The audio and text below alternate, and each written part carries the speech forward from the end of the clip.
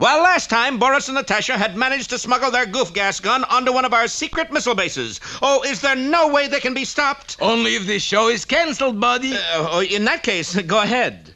This way, Natasha. Where to, Boris? To the main control center. Halt! Who's there?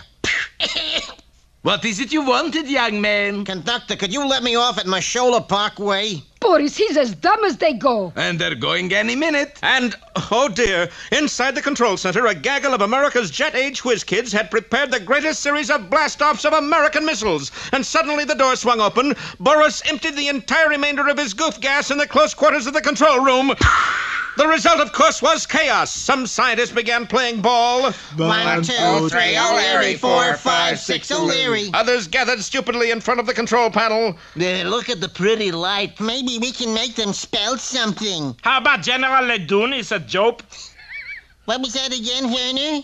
How about General... Fuzzy little comet.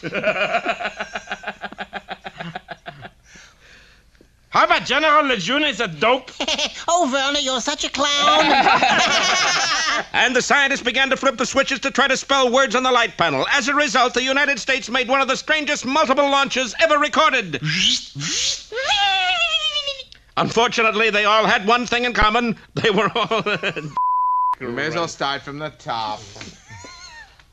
Unfortunately, they all had one thing in common. They were all headed for parts of the United States itself. Bullwinkle, we have to change the course of these missiles. A good idea. Some plucky fella's got to shift them off course. True, true. Bullwinkle, will you for heaven's sake ask me how we're going to do it? Oh, of course, of course. But gee, Rock, how are we going to do it? Boy, try to be a modest hero in this program. Okay, okay. How? I fly up to those missiles and direct them somewhere else. It'll never work. What makes you say so, Captain? Oh, I'm just helping to build up suspense. Ready, Bullwinkle? Ready, Rock. Then hurry! Oop! And the plucky squirrel hurtled up, up, and up. Faster and faster he went until he began to trail a thin black plume behind him. Hokey smoke! Smoke! Oh! Yes, he was going so fast that the friction of air was beginning to singe his fur, but that didn't stop our boy.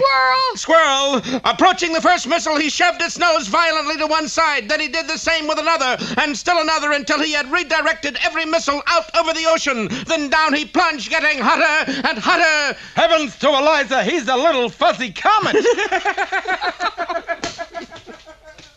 now, what is wrong? I thought I'd get it in.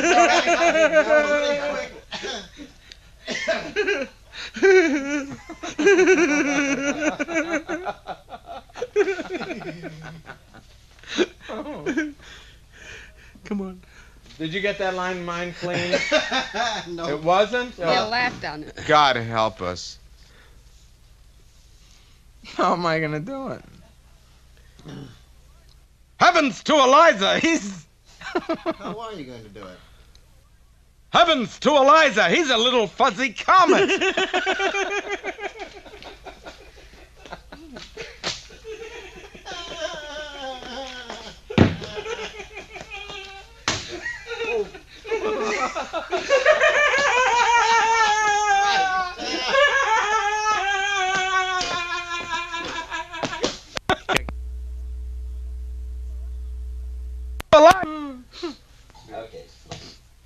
Uh, the 248, part two, take one. Fortunately, when the now almost hairless Rocky returned to Earth, Bullwinkle was waiting with a tub of water. Meanwhile, Boris was already in touch with the dictator of Pennsylvania. you should have seen those crazy missiles, Chief. All directions at once. And where are they all aimed now, Badenov? Where are they all aimed now? Who knows? Who knows? Who knows? I'll tell you who knows.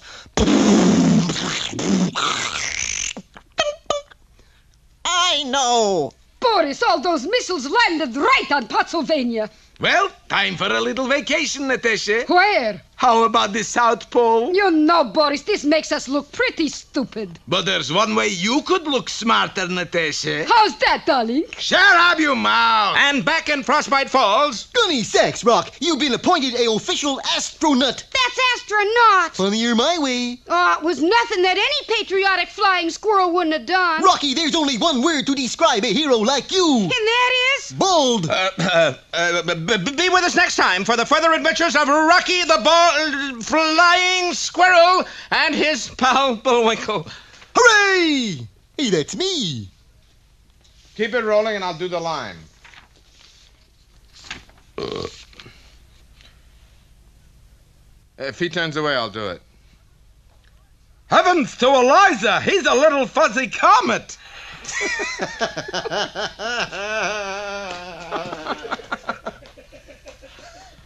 I'll do it again. All right.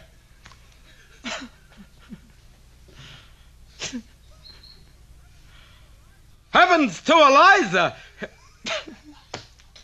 Heavens! You gotta get your hand off your head, Paul. Heavens to Eliza! He.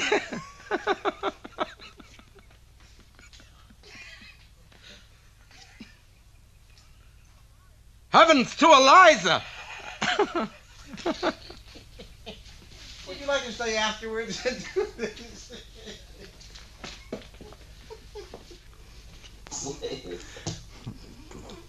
Two forty-seven pickups, featuring Paul Frees and Bill Conrad. He's going. I haven't even started yet. I'm not looking. I'm not looking. I'm behind that thing before we started. Going, Two forty-eight, is it? Doc. Yeah. Oh yeah, two forty-eight pickups. Take one. Heavens to Eliza! He's a little fuzzy comet! He got it out. He got it out. He made He it. beat you to it. okay, here we go. More pickups. Boy. Bullwinkle, we have to change the course of these missiles. A good idea. Some plucky fella's got to shift them off course. True, true. What, what? What? More excited. Her or me? Me. Him. Ah. I was playing against him. That's what I thought. Jay is more excited. I don't think I got the strength. Will you goose June, please? Goose June? Goose June. Still rolling? Bullwinkle, we have to change the course of these missiles. A good idea. Some plucky fella's got to shift them off course. True, true. Bullwinkle, will you for heaven's sake ask me how we're gonna do it? Oh, oh, of course. But G-Rock, how are we gonna do it? Boy, try to be a modest hero in this program. and- Okay, okay. How? Cut.